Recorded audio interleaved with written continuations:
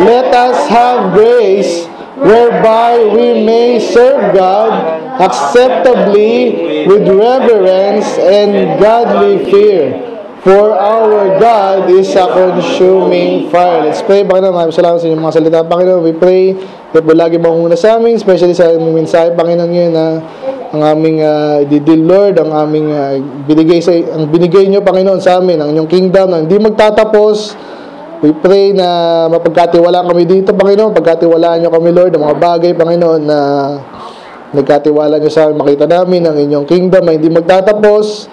Anong papel na pupunan namin, Panginoon, kayo pong uh, gumamit din sa amin, kayo pong malalati. In Jesus' name we pray. Amen. Mga kapo na po. Okay, good morning po sa lahat. Okay ba kayo? so, isa, sana, maganda tong ano natin eh. Ito yung ating team, naisip ko po kasi uh, para especially yung mga kabataan, nakikita natin sila ay malaki, tayo mga medyo hindi nakabataan. Sana pinag-pray natin sila, amen? Kung medyo naging mabuti ang Diyos sa atin, lalo na sana sa kanila, kasi ito po yung sabi sa Bible, ang Diyos daw ay, pag talagang nagloko-loko yung ano, kunwari, lolo, okay, nagloko-loko. Eh, blessing ng Diyos nasa atin pa rin, kunwari, kunwari, Christian nation tayo, kunwari, ganyan. Naging maayos yung tatay mo, pero ikaw, nagloko-loko ka. Siraulo ka talaga, ganun. Yung anak mo, lalo na. Madalas ganun, lalo magloloko yan. Tapos yung pangatlo na, ayun na yung pinakamalala. Pag hindi na-break yung, ano na yan, ang succession na yan, pag hindi na-break yan, lahat kayo loko-loko, tatlo, okay, especially sa isang buong nation, pag puro ganun, tatlo yan, destroyed yan sa pangatlong generation. So talagang mga atheist na yan, mga loko-loko, ayun yung mga papatayin ng Diyos ng mabiglaan. Okay, marami mga ganyan. Minsan hindi ang buong bansa, pero sa case ng mga Israelites, Okay? Pero sila kasi pag ganyan-ganyan sila eh. Pero naalala ko yung huling uh, generation na maayos sa kanila is yung uh, last revival nila kay Josiah. Tapos after na nun, loko-loko yung anak niya. Tapos yung anak nun, yung apo nun, talagang ginive up na sila ng Diyos. Okay, kahit pa nung una ay matino yung Judah. Okay, so, Pagpray natin yung mga anak natin na hindi naman sila, kung may mga kamalian tayo sa buhay, Okay, nakikinig ba? Tayo mga matanda, aminin natin, may pagkakamali tayo. Hindi ko sinabing sabihin nyo yan sa lahat. Hindi ko sinabing ganun. Yung iba, uh, pinagbibintangan tayo na, ito, puro gusto nyo usapan, laking kasalanan, hinahayag nyo sa buong. Hindi naman. Yung tama lang. Okay, yung pinapahiya ba kayo lahat dito? Hindi naman, di ba? Tama yung dealing lang natin dyan. Yung ina-expose natin, yung sobrang siraulo talaga. Yung kailangan, na hindi gayahin ng tao. Para sila ay matakot, kung ligtas yan, bumalik sila. Di ba? Lagi sinasabi sila sa Mother Church, ang dami doon, mga young people na maayos, nung una, bandang huli, ano, nung bago ako, inisip yung bakit sina-expose ni Pastor to? Napangalanan niya, ito si ate nyo, ito, ginawa ng ate nyo, ng kuya nyo. Ngayon, wala na sila kalooban ng Diyos, tiniwalag. So, hindi nagbalik. Yun ang problema. Alam nyo, minsan nagkakasala talaga tayo, pero magbalik ka lang loob, loob sa Diyos. No? At sino yung napag-aralan natin last time, di ba? Yung pagtitiwalag na yan. Bakit kayo natiwalag, kasi di ka nag-get right with God. Okay, anong sabi doon? Sa Matthew, pinag-aaralan natin. Ang sabi doon, da, uh, sabi kay, kina Peter and uh, company, What the, whatever thou shalt bind on earth shall be bound in heaven. Okay? Yung mga nasiguradong naligtas dahil sa ministry nyo, hanggang langit na yon. Pero pag may hinusgahan kayo, ano sabi doon? Pag uh, hinusgahan na yan, tapos hindi nagbalik loob, anong sabihin nun? Maaring ligtas sila, pero wala silang kapayapaan sa lupang ito. Okay? Tapos yung reward nila ay baka wala na. Yun nakakalungkot doon. Kaya importante ang church, amen? Amen. At uh, kung kayo ay magtitiwala, kung kayo ay maglawala dyan, iba doon, nagbalik naman yung iba, kaso hindi na makabalik. Andan nyo yung mga bata. May mga, kaya nga tinuturo natin reprobate doctrine, di ba? Ito naman sa kaligtasan. Pagdating sa kaligtasan, pag tumalon ka na, lumagpas ka na sa boundary, binago mo yung Bible, okay? Yung ibang, maraming judgment ng Diyos, yung kabaklaan, isa yun sa mga malinaw na judgment ng Diyos. Lalaki ka, sabi mo, babae ka. So, tumawid ka na doon. Wala ka ng pag-asa. Okay? So, marami pa yung paulit-ulit, paulit-ulit ng kasalanan. Tapos, hindi ka na makabalik. Kasi wala na eh. Para sa'yo, yung Word of God, bali wala na. Ilang beses kang winamingan. Ilang beses kang ini-invite, sige, share kita ng Word of God, paulit-ulit, niloloko mo. Bandang uli, pag naging reprobate ka, bahala ka sa buhay mo. Ngayon, yung mga Kristiyano naman ha, ligtas ka nga, pero napaka-posible na na yung blessing ay mawala sa iyo. Yung magandang buhay, wala ka ng pag-asang gamitin ng Diyos. Ano yung sabi ko? Okay, para ka na lang si Lot, walang pag-asa sa buhay, di ba? Ligtas nga siya, righteous siya, pero makita mo yung buhay ni Lot, di ba? Ginamit nga natin illustration yan. Sa mga mga alternative churches. Na ngayon, kahit anong sabihin mo dyan sa alternative churches na yan, anong gagawin nila? Kunwari, okay yung mga katoliko, magbasa lang ngayon ng Bible, magiging maayos ang church. Hindi pwede sabihin yan. Wala na yon yung iglesia, pinanindigan nila yan. Si, tao, si Jesus, tao lang. Hindi na sila makakabalik from that. Okay? So, ganun din kayo. Huwag niyo sabihin ng galing kayo. Dami ko nakausap ng galing ako sa baptist. Eh. Ano, ano ka ngayon? Naniwala lang kayo sa tongues. Ayos ng usapan namin. Pero nakita ko sa kanya, maganda naman yung ano, reception niya ng una. Pero bakit naniwala ka sa tongues na wala naman sa Bible? Mandang huli, galit na sa akin. So, hindi na siya makabalik. Paano ka babalik? Alam mo, babanatan ka doon. So, nag-backside ka na napakatagal. Tapos, yun na, naniwala ka sa kung anong-anong heresy. So, maaaring ligtas ka nga, pero napakapangit ang buhay mo. Amen? Gusto niyo ba ng mga bata gano'n? Gusto niyo gano'n? Pangit yung buhay niyo? Yung gusto mo lumapit sa Diyos, gusto mo talaga. Kaso, hindi ka na, wala ka na mapuntahan.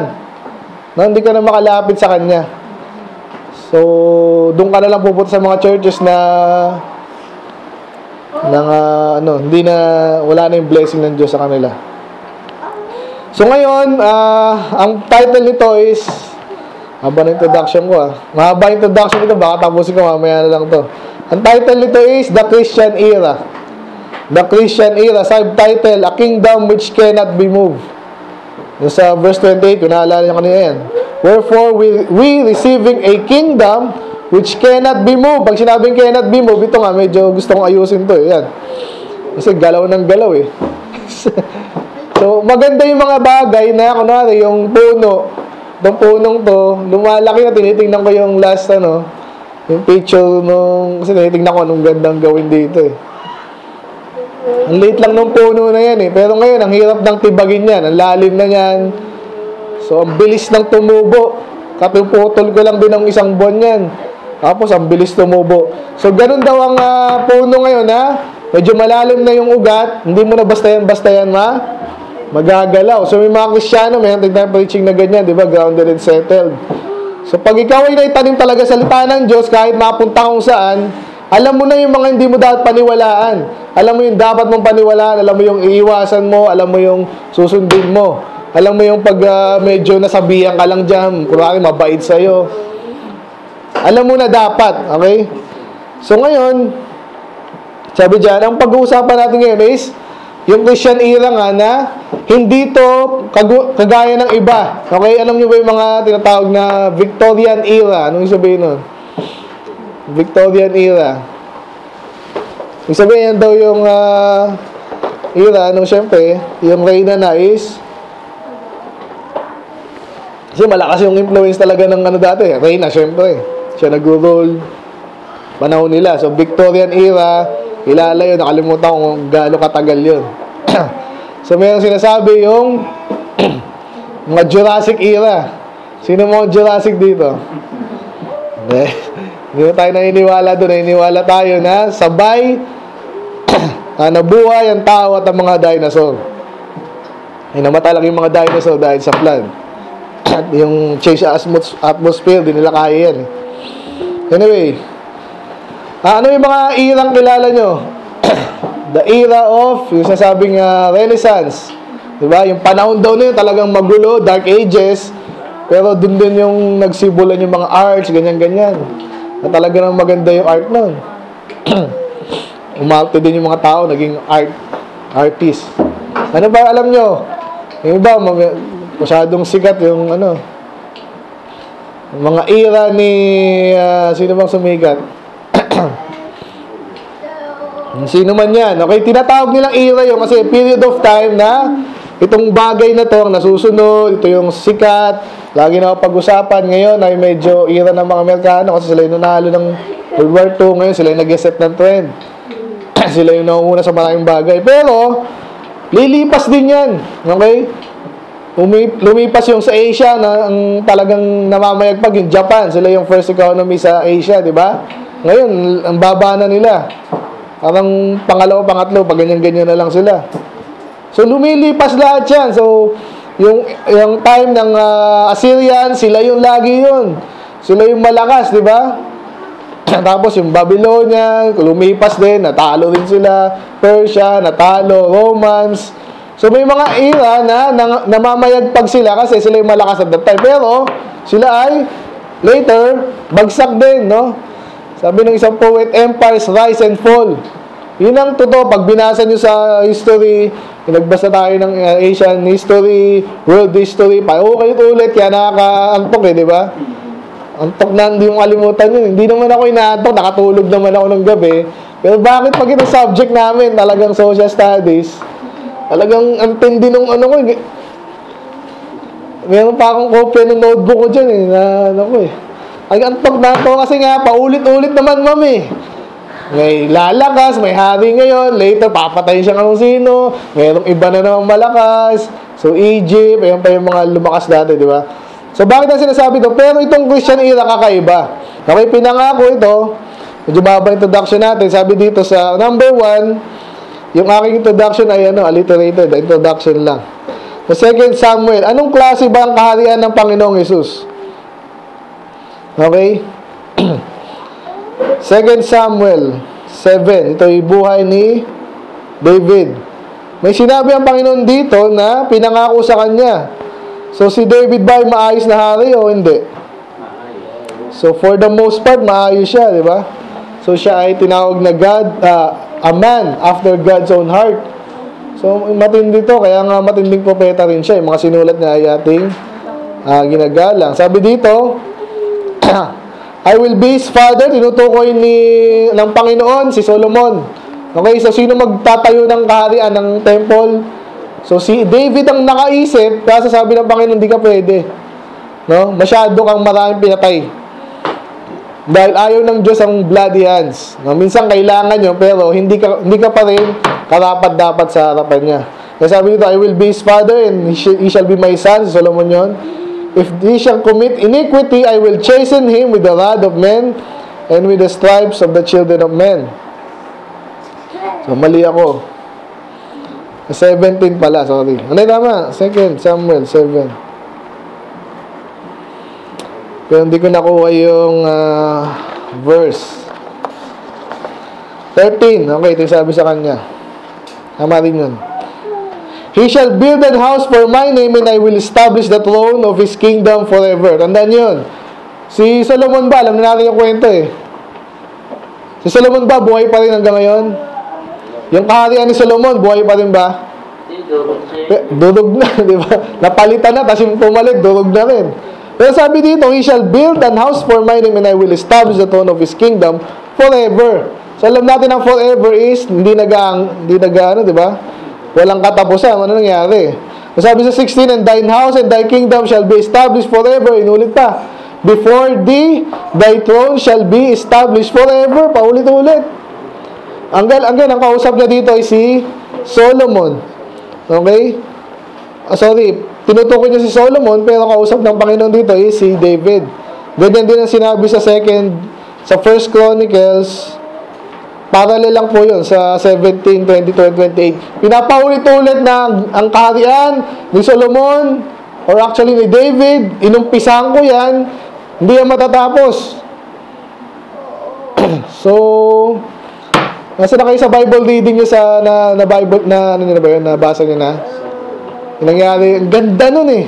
Kay David, natalo niya lahat. Wala, dumating yung panahon, yung, uh, ito, ito mismo. Bakit siya nag-iisip na magtayo ng temple? Kasi wala na eh.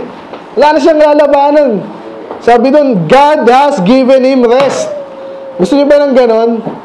Lahat tayo gusto ng ganon, pero minsan, di ba? Sa aming mga magulang, isa mga gusto namin dumating sa amin, yung wala na kaming gagawin, kundi enjoy na lang yung anak namin. Kaso nga, minsan, hindi dumating, kailangan magtrabaho na magtrabaho, magtrabaho na magtrabaho. No? Pero sa kaharian, yan ang pinakamagandang dumating sa kanila. Yung, yung wala na silang gera. Nakakapagod yung gera eh. Itatayo mo to, sisirain lang ng usino. Okay? Kaya yun ang pangako ng Panginoon nung uh, ni, ni, naisip ni David, nung wala ng gera, yung temple natin nasa tabernacle, yung pinag-aaralan pala natin sa Exodus, di ba? Puro, puro cortina lang. Tapos siya, ang bahay niya talagang cedar. Matitibay na kahoy. Okay? So kaya yung kingdom ng Diyos una ay forever. Sinabi yan, pinangako yan kay David. Okay? Pangalawa, kinonfirm yan. No? Permanent yan. Sabi sa 1 Kings 9.5, ako na lang kasi oh, tagal to eh. Sabi sa 1 Kings 9.5 or 9.7, ba't ganon? First King, kita ko na nga. Pagkatapos ng Second Samuel, ano na? First Kings. Anong sinong bida sa First Kings? Ha? Okay, Solomon and the Kings na, di ba? So, natapos ang buhay ni David ng Second Samuel tsaka First Chronicles. So, pero dito sa First Kings 9, na makita ko. And I will establish the throne of thy kingdom upon Israel forever as I promised to David. Ang kausap na na dito, si Solomon na. Ang Panginoon, kausap na na si Solomon. Na, na dito sa verse 1, sabi dyan, uh, binisita siya ng Diyos. And sabi, the Lord appeared unto Solomon. Okay? At second time yan. So, kinonfirm. Okay? Pag sinabi kinonfirm, sabi, pinangako dati, na sinabi ulit ngayon. Totoo yan. Okay? Mangyayari yan. Nasabi niyan, Thy throne of thy kingdom upon Israel forever, in-establish ng Diyos. Kagaya ng pag-promise niya. So, ibig sabihin, pinangako ang kingdom of God, pinangako, pin permanent, kinonfirm yan. Sabi sa 2 Chronicles 13.5, ano makikita natin dito? 2 Chronicles 13. So, sino nang bida sa 2 Chronicles? Mga kings. Yan ang parallel ng second, first and second kings. So si Abijah, sabi niya dito, sino si Abijah? Isa sa mga hari. Ba't mali ata ako? Ito sabi niya, Ought ye not to know that the Lord God Israel gave the kingdom over Israel to David? Okay, kung napansin niyo, sino si yung bago si David? Sino yung hari? Si Saul, sa tribe siya. Benjamin, di ba? Pero bigla na lang napunta sa ano. Kung ginaya nila yung mga style ng mga ibang tao, kung sino yung unang hari, lahat ng hari magiging anak niya, di ba? So, pero hindi nangyari yon Alam niyo na yung kwento, namatay si Saul. Ang inappoint na next king, si David, na shepherd lang. Ibig sabihin, binigay sa kanya talaga yung, binigay talaga sa kanya ng Diyos. Hindi niya pinaghangaran yun. Kaya sabi dito, I gave the kingdom over to Israel, to David forever. Even to him and to his sons by a covenant of salt. Ibig sabihin nito, claim, ibig sabihin, alam, kasi alam ni Abijah eh. Ibig sabihin, hindi lang sinabi yung kay Solomon at kay David, alam ng buong tao yun, kasi alam din ni Abijah. Okay, so proclaim, promise, permanent, proclaim. Sa Daniel, Daniel 2, ito yung uh, pangitain ni uh, uh, Nebuchadnezzar, okay? Ininterpret ni uh, David, uh, ni Daniel, ang sabi doon, so meron dong yung statue, gold, silver, brass or bronze, and then faith na, alala niyo yun? So, yung pinaka, ano, is uh, iron, and then iron and clay. So, pero yun ay sinira nung bato. At yung bato na yun ay naging mountain. At dinescribe ng Bible ni Daniel, no? Yun pala yung kingdom ni Jesus. Okay, tingnan natin. So sa ito yung sabi sa kanya, in the days of these kings, okay? Itong kings ito, ito yung fourth kingdom, ito yung kingdom of Rome. Kapanahunan ng Rome, magra-rise up ngayon itong Messiah. Okay? At sabi dito, we shall never be destroyed. Kung nasira yung Babylon, nasira ang Assyria, nasira ang uh, ng Greece, nasira ang uh, Babylonia, ito hindi may sira. Hindi ba yun? So alam natin yung Rome nasira na yan. Anong, anong world empire ngayon? US na. Okay. anyway, pero hindi pa sila katulad ng gano'n. Pero itong kingdom daw na to, ay itong Messiah ay darating sa panahon niya at siya maghahari. At sabi dito, And the kingdom shall not be left to other people, it shall break pieces, consume all these kingdoms, and it shall stand forever. So again, that kingdom that will stand forever. So sino kaya yon? Ha? So may kinalaman niya sa pinangako na according to David and Solomon and then kinonfirm, pinoclaim, ang pinofisay may isang kingdom na hindi magwawakas. Okay? So anong klase ito? Sa New Testament ngayon, mababansin natin, paulit-ulit, ang kingdom na to. Sinabi sa Matthew 5, 19, tingnan natin. Sabi dito, pakibasa po, ready? Go. Whosoever therefore shall break one of these, these commandments, and shall teach men so, he shall be called the least in the kingdom of heaven. Okay. But whosoever shall do and teach them, the same shall be called great in the kingdom of heaven. Okay, katulad ng ating text kanina, yung uh, a kingdom cannot be moved. Kakaiba pala to. No, hindi na siya dito, kaya pala hindi siya matatapos. Pag ito'y nagumpisa, no, sinabi nung una, kay David yung pinangako, ikaw at ang anak mo, pamilya mo, hindi na magtatapos yan, eh kaso natapos. So ngayon, ang conclusion natin, kung ta, pa, uh, tapat ang Diyos sa kanyang pangako, totoo to, hindi basta-basta physical kingdom yun. Kasi natapos na yung kay Solomon eh. Ba? After sino yung huling uh, hari nila? Si Jehoiakim.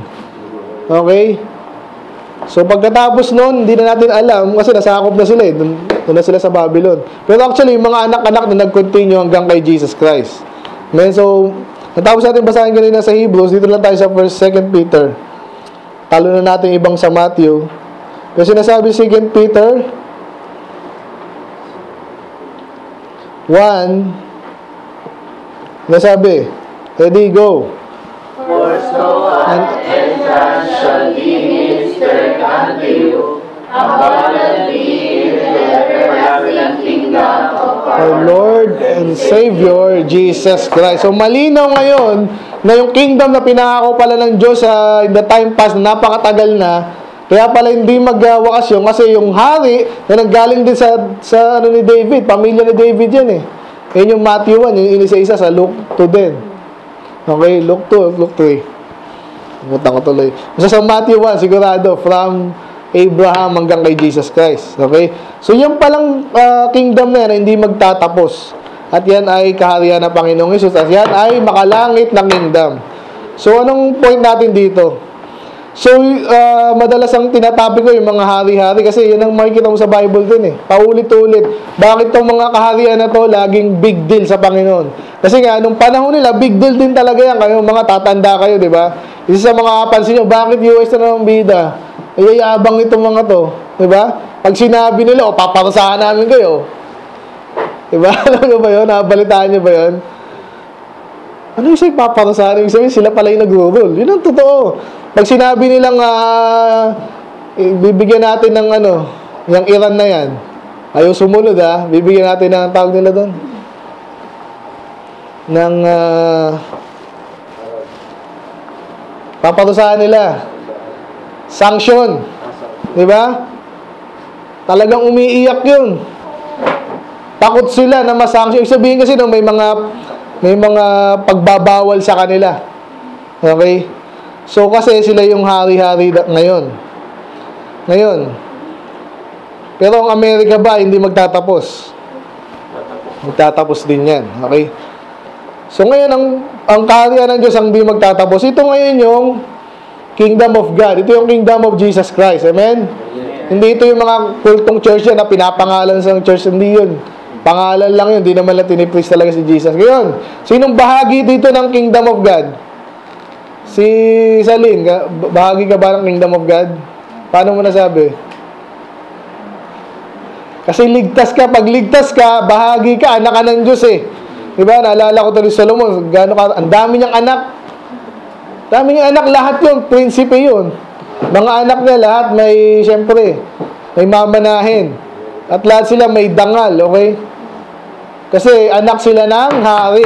Ngayon, pag anak ka ng hari, anak ka ng Diyos, kabilang ka doon, hindi, lang, hindi ka lang kabilang, talagang maimportanteng bilang ka. Eh ngayon, anong gagawin natin ngayon? Anong gagawin natin dyan? Ngayon sinasabi ko na, yung Christian era na yan, hindi na yan magtatapos, nag-umpisa yan sa, even kina Abraham pa, believer na si Abraham eh. So, pero especially, ang nakita natin sa history, after Christ, okay, mabuhay siya dito, iba na po yung takbo ng sanlibutan. Hindi na katulad na patayan ng patayan. Napansin nyo ba yon? Meron pa rin pero hindi na katulad dati. Na wala nang pakialaman. Ngayon, may tinatawag na may mga rules of war. Alam nyo ba yun? Bawal. Ano yung alam nyo bawal sa gera? Bawal yung biological weapon, may mga bala, may mga baril, hindi, hindi nila pwedeng gamitin. Kasi nga, ang gera ngayon, hindi na ganun katulad ng dati. Na labo-labo. Dahil may kinakilala na tayong Panginoon na siya nag-set ng rules. Even for wars. Okay? Ito yung medyo nakakalito kasi ang pinag-uusapan natin sa mga Kristiyano at sa sanlibutan. Okay? Sa sanlibutan, nabago yan eh. Nabago. After Jesus. Okay, ngayon kahit pa paano, kahit may mga paganong ah, ibang Kristyan na nagkukunwaring Kristiyano, still, apektado sila. Apektado sila ng rules na sinet ng Panginoon. Okay? So, di ako tatagal doon. Ang gusto ko lang ah, ah, iwanan sa inyo is, napaka importante yung change na nangyari after Jesus. Okay, ngayon, yung mga totoong Kristiyano, mga anak ng Diyos, yun yung church. Okay? Are we a nation? Yes. Nation ba ang church? Sabi nung nakausap kong 20 years na nag, nagturo daw sa Bible School, ang Kristiyano hindi naging ano, kahit kailan. Hindi nasyon yan. Pinasabi mong nasyon tayo, tayong chosen people of God. E di binasa ko sa kanya to. Ito po sabi dito. Sinasabi sa mga Kristiyano, But ye are a chosen generation, a royal priesthood, a holy nation. Ayan po, nation po. Hindi, di mo maintindihan niya kung hindi ka nag sa Bible school. Nag-aaral din po ako. Ah, wala na masabi? So, hindi na ako pinan pinansin, okay? So, ngayon tayo na to. Tayo na ang tinitingala. Dapat. Ngayon tayo ay isang, paano naging nation? Wala naman tayong ano, wala naman tayong, wala naman tayong nasasakupan. Yun ang sabi nila, ang nation dapat may, may isang ah, area na sila ay naninirahan. Eh, spiritual nga. O, paano yun? So, kahit ang mga Kristiyano ay walang isang lugar na tayo ay ah, nag-stay tayo doon, doon tayo nananahan, pero sabi dito, tayo ay a nation. Amen? Kaya sinasabi dito eh. So, ngayon, kung tayo ay nation, dapat may gagawin tayo dito sa kingdom na to, na pinaghaharian ng Diyos. So, dito na tayo sa ating points. Anong gagawin natin? Anong kailangan natin gawin? Dito sa kingdom na to. Nasa kingdom of God pala tayo. Tayo yung mga holy nation, ang mga priest. Anong kailangan natin gawin? Dito tayo ngayon sa ating verse, sa ating text. Okay? So number one, sabi dito, Wherefore seeing we are also compassed about with, a, with so great a cloud of witness, okay, let us lay aside every weight and the sin that, that easily beset us, so easily beset us, and let us run with patience the race that is set before us. Sa Tagalog, nakita nyo naman, no, tayo mga Kristyano, alam na natin, eh, wala nang ibang religion na meron silang holy book na katulad ng Bible. Wala. Yung iba, ang Quran, hindi pwedeng kumpara yun. Isang tao lang nagsulat nun. Yun na yun. Tapos mali-mali ang grammar. Okay? Tapos yung nag-leader nila, pedophile. Sundin mo ba yun? Ano yung pedo pa? Basta parang baklang ano yun. Na mas malala pa. Okay? Mga patol sa, bay, sa bata. Okay? So, matindi yan. So, yung matinong tao, hindi nang maniniwala dyan. Kaya marami lang Muslim ngayon kasi pinilit sila, papatayin sila eh. Pag umalis sila eh. So, hindi by faith yun. So, wala nang ibang katulad ng Christianity ng Panginoon natin ay ang totoong Diyos. So, tapos, kumpleto tayo sa manuscript, kumpleto yan, hindi nila may tatanggi na, hindi, inimbento lang yun ng 19 ganyan eh. Hindi, kumpleto tayo. Okay, hindi nila pa sinungalingan. Kaya sabi dito, tapos maraming churches, kung nga, nagkalat nga, minsan nag-aagawan nga eh, kung sinong totoong church eh. So, hindi pwede sabihin hindi totoo to. Sabihin mo, peke yung iba, pero hindi lahat. Amen? Amen. So sabi dito, andyan na, ang dami nyo ng witnesses. Anong gagawin natin? Pero sinabi niya dyan, let us lay aside the weight. Yung sinasabing weight dito, yung nakakapigil sa atin, ano yan? Kung ligtas ka na, ay, pwede ko nang gawin lahat. Madali na to, madali ba? Kung ano yung, ano yung pipigil na lang sa'yo? Nari ako, mabilis ako tumakbo. Eh, nilagyan ako ng sako sa likod. Mabilis man ako tumakbo, mahirapan ako, di ba? Ano yung sinasabi dito sa verse na to? Na nagpapabigat sa atin. Yung kasalanan, di ba? Kaya number one, be holy. Paano natin to isusulong itong kingdom of God? Nagpakabalal tayo yung mga kasalanan na alam naman natin, alam na alam, pinapaulit dito sa Bible. Ito, mali ito, yung mag-disobedience, mga bata, okay, yung hindi magano. Ano pa mga kasalanan alam nyo? Alam nyo na yon hindi magbasa ng Bible. Lahat ng sinabi sa'yo gawin, pag di mo ginawa, kasalanan yun. Eh lalo naman yung mga sinasabing ito, talaga maling-mali ito. Huwag mo nang gagawin. Amen? So kung, kung tayo ay uh, aabante at hindi mahihirapan sa pag-advance ang karaya ng Diyos, alisin na natin yan. Mga bata, bata pa ako eh. Diyan ka mag-umpisa, ngayon pa lang. Bata ka pa lang, umatin ka na umatin, umatin ka na umatin, makinig, magbasa, sumunod. Pag alam mo makakabuti sa iyo, kahit di mo alam, eh authority yan eh. Sundin mo na lang, di ba? Then number two, sabi niya sa 2 to 3, looking unto Jesus, the author and finisher of our faith, who for the joy that was set before him endured the cross, despising the shame, and is set at the right hand throne of God. Sabi, for consider him that endured such contradiction of sinners against himself so, ibig sabihin, pangalawa is look unto Jesus. Ibig sabihin, pag may mga nahihirapan ka, hindi mo alam kung anong gagawin mo, ano ba ginawa ng Panginoon? Ano ba yung importante sa Kanya? Tingnan mo, sabi dito, especially ito mga, ano to, so temptation, sa mga trials, ang hirap na mga Krisyano. Biduin mo, aasarin ka pa. Soul winning na naman. Lahat na lang ng kaibigan ko. Iba yung utak ako, iba. Sino susundin ko? E di mo si Jesus. Di ba? Diyos nga kasi, siguro sa atin, pag may naging Diyos sa atin, iba gagawin eh. Di ba? Nakikita mo sa mga pelikula, di ba, kalokohan nila, di ba? Anong gagawin ito? Eh, puro kalokohan, di ba? Anong gagawin? Uh, hilig ko sa udan sa pelikula, pero minsan nababasa ko, puro kalokohan, anong gagawin mo sa kapangyarihan mo? Nakapatayin mo yung iba, para masunod ka, di ba? Pero ang Panginoong Isus, na totoong Diyos, Anong ginawa niya sa kanya? Siya pa yung naghihirap sa atin para lang maligtas tayo. Ganon siya nagmahal sa atin. Kaya ngayon, tayo, pag nahihirapan na tayo sa ministry, ang hirap na umatin, umatin lang, mahirap. Minsan, di ba, naalala ko sa amin, ang hirap umatin eh. Dalawang sakay. Eh, syempre, medyo bata-bata ako noon. Sabi ko, nagbibilang ako ng pera, wala na naman akong titira sa pumasahe pa lang. Wala na, pero nagtiwala ako sa Diyos na ito ang gusto yung mangyari sa buhay ko. Wala naman akong makitang iba. Tinatanong nga ni sina ano nun, mga kilala ko, na ano kailangan gawin sa buhay? Siyempre, nakikinig ako sa preaching, nakikinig ako sa kaibigan ko, yung nab- nabanggit ko kasi, mga kaibigan ko, wala nang ginawa, Ma- mayaman yung iba, iba, maganda yung trabaho. Anong ginawa? Puro kalokohan. Gusto ko ba maging ganun din? Nabanggit ko yung, yung isa doon, yung iba doon, nanonood ng bold. Live. Gano'ng kademonyo yun? Kasi nang pag-uusapan nyo, kasi ito yung kaibigan kong gusto mong kaibigan. Hindi na. Amen? So kung wala ka na ibang alam mo na, na wala ka na ibang dapat paglaanan ng buhay mo, hindi magsumikap ka na dyan. Di ba? Ito yung buhay ng Kristiyano. Soul winning, makinig na salita ng Diyos, mag-aral, i-apply yun. Not necessarily alam mo agad lahat ng gagawin sa buhay, pero matiderive mo na yun doon. Pag ikaw ay saturate yung salita ng Diyos, hindi mo alam kung exactly yung gagawin mo sa buhay mo eh, di ba? Nire-review ko yung preaching ko nung ano eh. Nice eh. Ganun din sinasabi ko, pareho lang eh. So tayo ngayon, pag medyo nahirapan tayo sa kung ano man yan, mga sakit, may sakit ako ngayon, ako sakit ulo kanina, parang ayoko na mag-preach. Nahanap ko na lang yung ano, yung mga dati kong preaching, ulitin ko na lang. Pero hindi, nakakahiya. Nakakahiya sa inyo.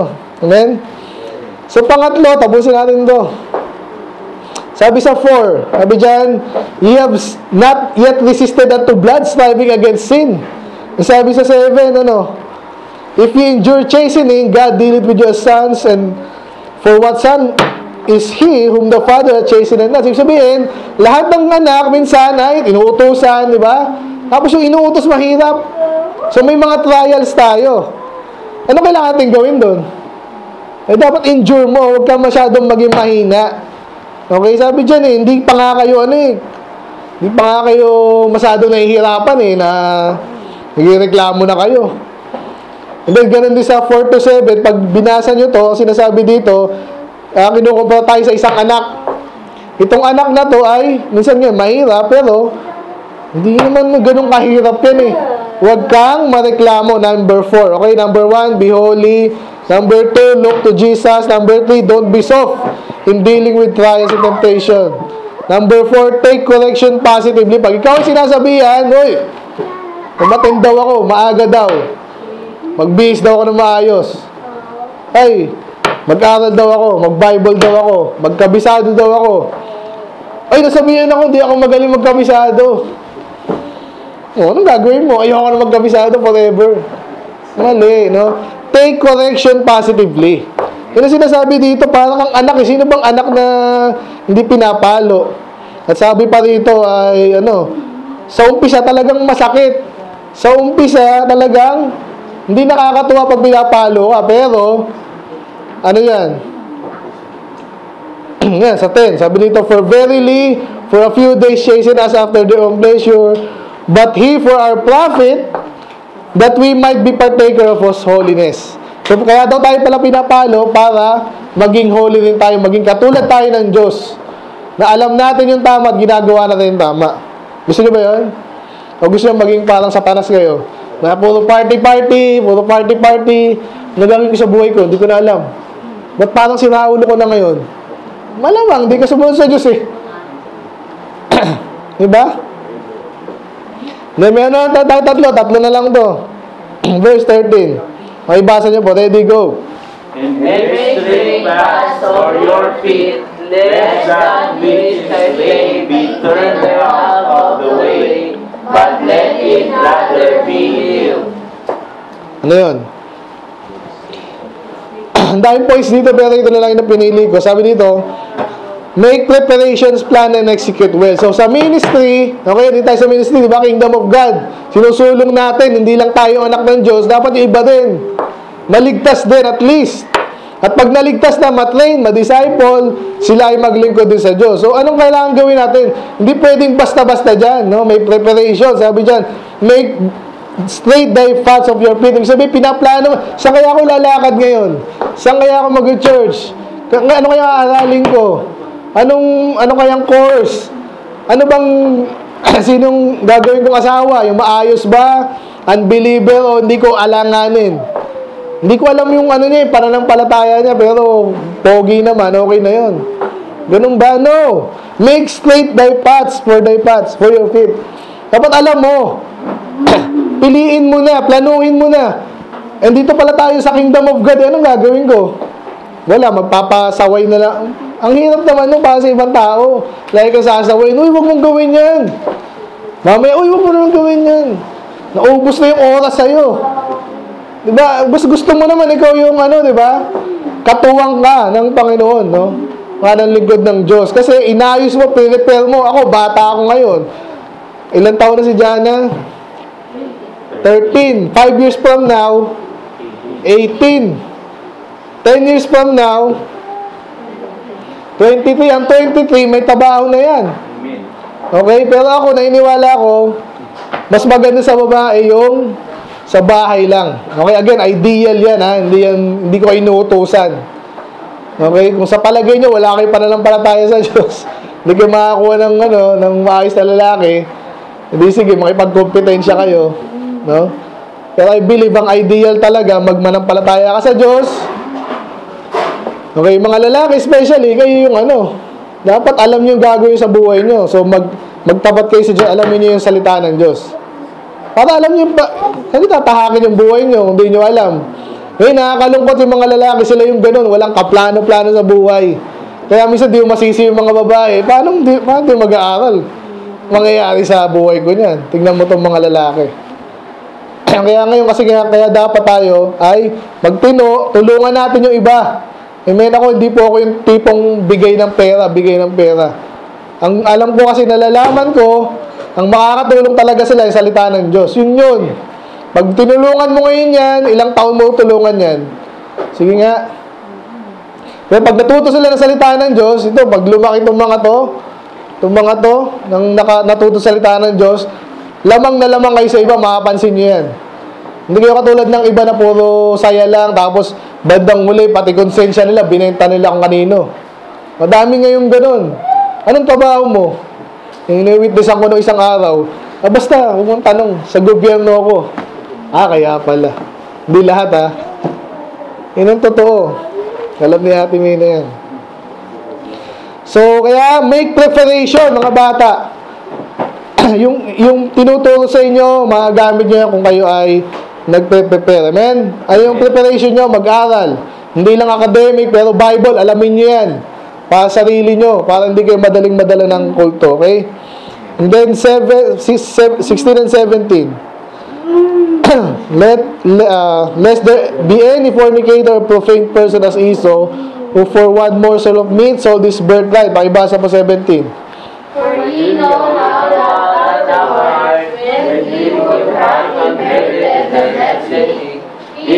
rejected, for he found no place of repentance. Though he sought it carefully with tears. We sought it carefully with tears. So, inaiyakan niya yung, ano nangyari kay Esau? No? Tapos tayo dyan, di ba? Anak siya ni Jacob. Ah, sorry, ni Israel. Ah, ni, sorry, ni Isaac. Di ba? Supposedly, yung blessing from Abraham, believer na Abraham, sa kanya rin yun. eh. Actually, siya nga yung panganay eh. Anong ginawa niya? Nagloko-loko siya. Sa, ang tawag sa kanya dito is profane person. Yung sabihin ng profane, bastos.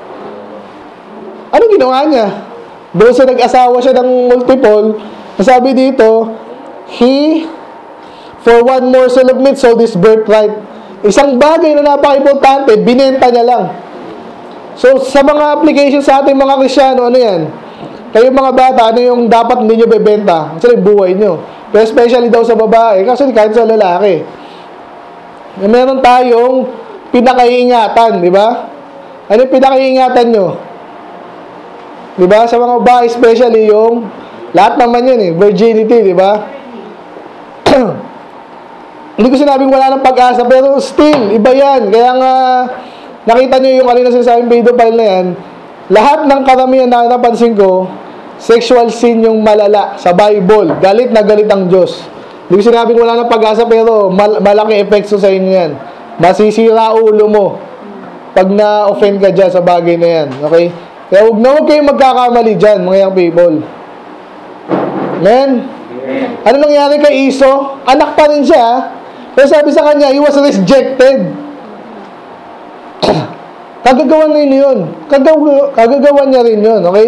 Kaya yung next point natin is uh, second last. Sabi dito, watch out for those in the contrary. Ay pinag-uusapan natin dito para tayo susulong. Anong yung ito yung mga positive na dapat natin gawin. Maging banal, tumingin kay Jesus. Okay, huwag kayong soft masyado. Okay, dapat palaban din tayo sa tamang paraan ha. Hindi, pag kinokore ka, positive ka, nagpapakore ka, agali ng magandang bata, maayos. At ah, tulungan mo yung iba na nagtawang ko pala yun ha. Basta tulungan mo rin yung iba. And then make preparation. Ito yung mga positive ngayon. Alam natin may kalaban. Anong gagawin mo? Laging paalala to ng Bible sa atin, watch out. Itong si Iso, okay na siya eh. So, ganun sa ating mga member, may member tayo dito maayos ah. Ngayon, maayos. Hindi mo alam kung sino dyan yung later ay magtataksil, di ba? May hudas ba dito? Dapat mga watch out kayo kasi pag aanga-anga tayo, kala mo lahat ng nasa church okay yan. Hindi ganun. Okay, so doon ko na lang tatapusin. Maging matalino kayo. Watch out for yourself. Ngayon, kung matutulungan mo siya, tulungan mo. Pero, yung pastor, magano ka sa pastor, sa lead ng pastor, kasi siya nakakilala dyan. Then last, okay, last na. Here, ah, sa 25 to 29, basahin na lang natin ulit. Ito yung kaninang ah, binasa natin.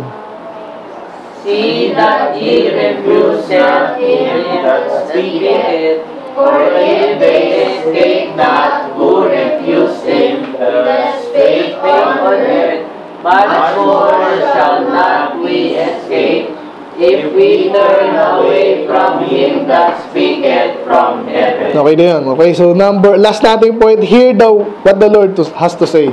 Pakinggan mo siya. Masyadong ano, simple. Pero hindi nga kasi depende sa sinasabi niya. May mga sinasabi siya minsan na mahirap pakinggan, di ba? Pag sinabi natin, praise the Lord, okay, ah, ano ba? Madalas yung uh, umaten ka, yun ang pinakasimple eh. Minsan nakikinig tayo kasi kaya ko yan eh. Lapit lang ako eh. Tsaka tatay ko, may sasakyan naman, pupunta dito. Kaya angas lang ako, di ba? So, madali lang.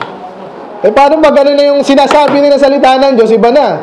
Ano, sinasabi ng salita ng Diyos, marami sina, sinabi salita ng Diyos, sabi dito, isa sa mga obligasyon natin, kung matino tayo, at susunod talaga tayo sa Kanya, ano yung mahirap, ano yung mahirap, ano, sundin sa kautosan ng Diyos. Sige nga, bigyan ng example. One, two. Yung mahirap, para sa marami. Ano? Jamie? Mahirap na sa'yo yun? Day and night. Magbasa ng Bible. Yung mahirap sa karamihan daw. Ano? Marami yan, okay? Pero isa sa magbigay. Mahirap yan. Ay, makik- makikinggan ko tong isang utos niya, pero tong isa hindi.